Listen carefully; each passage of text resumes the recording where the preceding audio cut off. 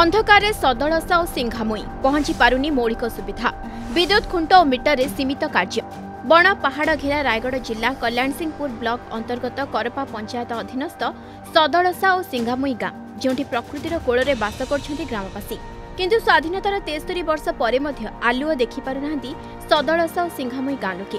ଏଠି ସରକାରୀ ସୁବିଧା ସାତ ସପନ ଦୀର୍ଘ ତିନି ବର୍ଷ ଧରି ଅନେକ ଗାଁରେ ବିଦ୍ୟୁତ୍ ଖୁଣ୍ଟ ପୋତାଯିବା ସହ ଘରେ ଘରେ ବସିଛି ମିଟର।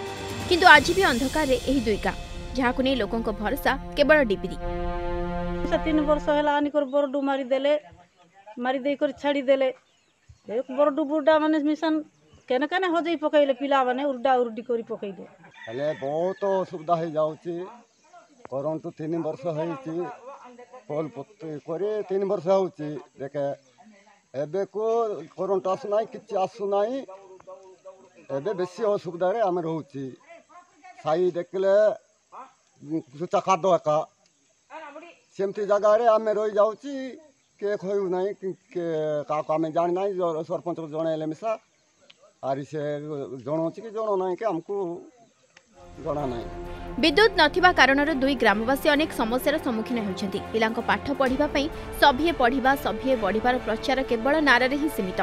এনে সাউথ কো নির্বাহী যন্ত্রী সহ আমি যোগাযোগ করি সে ঠিকাদার কার্যের বিলম্ব করুবার লোক কার্যের বিলম্ব ঘটুছি যা আগামী চব্বিশ ঘণ্টা মধ্যে বিজুড়ি যোগাই দিয়াযিব বলে সে প্রতিশ্রুতি সেসব সে কন্ট্রাক্টর যা আওয়ার্ড হয়েছিল সে ছাড়িকি পড়াইলা যা যাফলের গুপ্তা পাওয়ার তার প্রোগ্রেস রিপোর্ট দিয়ে এবং সেটা বর্তমান এই সাত আট দশ দিন তলে তার মধ্যে ଆମେ ଖବର ନେଇଥିଲୁ ତାପରେ ସହିତ ଇଣ୍ଟରାକ୍ସନ୍ କରିଥିଲୁ ଏବଂ ପ୍ରୋବାବୁଲି ସେ ଆଜି କରିବା କଥା କିମ୍ବା କାଲି ଚବିଶ ଘଣ୍ଟା ଭିତରେ ଆସନ୍ତାକାଲି ସୁଦ୍ଧା ସେଟାକ ଚାର୍ଜ ହେଇଯିବ ବୋଲି ମୋ ପାଖରେ ଯାହା ଖବର ଅଛି ସ୍ୱାଧୀନତାର ତେସ୍ତରୀ ବର୍ଷ ପରେ ମଧ୍ୟ ରାୟଗଡ଼ା ଜିଲ୍ଲାରେ ବିକାଶ ଅପହଞ୍ଚ ସରକାରଙ୍କର ଅନେକ ଯୋଜନା ରହୁଛି କିନ୍ତୁ ଏଠାରେ କାର୍ଯ୍ୟକାରୀ ଶୂନ ଯାହାକି ପ୍ରମାଣ କରିଛି ରାୟଗଡ଼ା ଜିଲ୍ଲା କଲ୍ୟାଣ ସିଂହପୁର ବ୍ଲକର ଝରପା ସିଙ୍ଗାମଇ ଭଳି ଅନେକ ଗାଁରେ ଦୀର୍ଘ ତିନି ବର୍ଷ ଧରି ବିଦ୍ୟୁତ ପୋଲ ପୋତା ଯାଇଛି ଘରକୁ ତାର ସଂଯୋଗ କରାଯାଇଛି କିନ୍ତୁ ତିନି ବର୍ଷ ବିତି ଯାଇଥିଲେ ମଧ୍ୟ ଆଜି ସୁଦ୍ଧା ଆଲୋକ ଟିକେ ପାଇଁ ଲୋକ ଡହଳ ବିକଳ। ତେବେ ଏ ନେଇ ଆମେ ନିର୍ବାହୀ ଯନ୍ତ୍ରୀ ସାଉଥ୍କ ସହିତ ଯୋଗାଯୋଗ କରିଥିଲୁ ତାହା ଚବିଶ ଘଣ୍ଟା ମଧ୍ୟରେ ସମ୍ପୂର୍ଣ୍ଣ କରିବା ପାଇଁ ପ୍ରତିଶ୍ରୁତି ଦେଇଛନ୍ତି। ଯାହାକି ତିନି ବର୍ଷରେ ସମ୍ଭବ ହୋଇନାହିଁ ତାହା କିଭଳି ଭାବରେ ଚବିଶ ଘଣ୍ଟା ମଧ୍ୟରେ ସମ୍ଭବ ହେବ ତାହା ସମୟ ହିଁ କହିବ।